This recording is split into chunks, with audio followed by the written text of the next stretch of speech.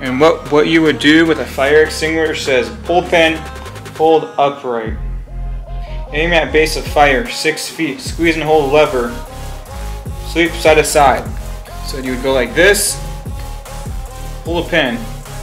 Like this, 6 feet away, go side to side. Just like, th just like this. It says do not break or remove Tem temper seal until fire emergency.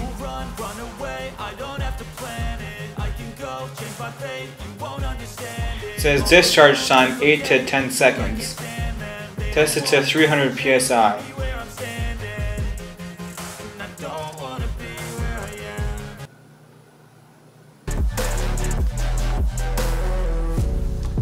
Okay, we're out here.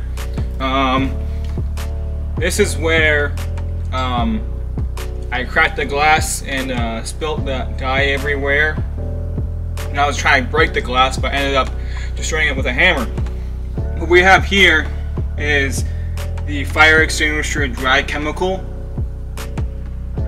Okay, um, what I did was I released the fire extinguisher and it shot out all the pressure. Me not knowing what what was happening, I let it all out. And there it is. There's the dry powder.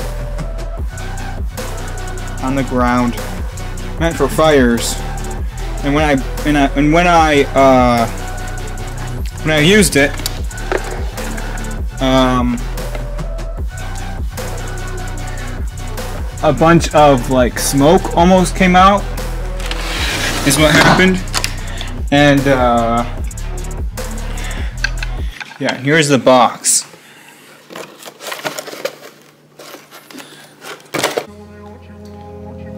okay so what we have in here is the dry chemical okay and you can see it coming out of the bottle there's a bunch of it in here grew up in a place where they told you what to chase. But unfortunately, this has a one-time release. Page. And when you use it one time, all the pressure goes out and it's no longer worth anything. So now I have an empty container, a useless fire extinguisher right here. The only use this as to make a video. So usually there's a pin right here, and I pulled it, pulled the pin, went out, as, as you can see back there. But uh, now I just have this, and I probably end up destroying this sometime in the future.